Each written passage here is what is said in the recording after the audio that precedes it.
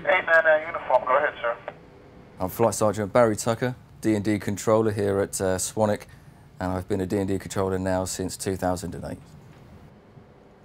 For a pilot who has infringed on controlled airspace or thinks they might have done, the best thing to do would be, if they know the position, then call the air traffic unit that is in charge of the airspace so that they can deconflict themselves. If they're not sure, then call D&D on 121.5 as soon as possible. It's best to call early rather than later when you've gone straight past the aerodrome. That way we can deconflict with the air traffic unit to make sure that everyone can get on their way and the aircraft can exit the area as soon as possible.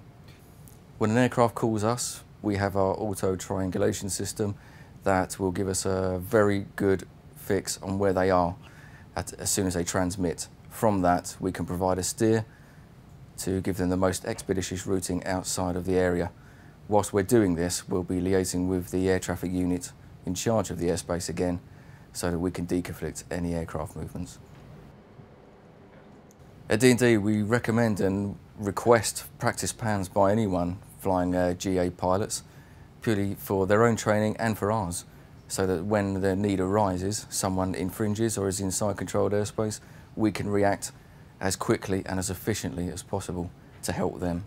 To start your practice pans, all we need is, or ask that the GA community perhaps dial up 121.5 they listen in for a few seconds just to make sure that a, a real emergency is not ongoing and then just go straight into practice pan, call or request your training fix, whatever it is that you feel you need to train best for you.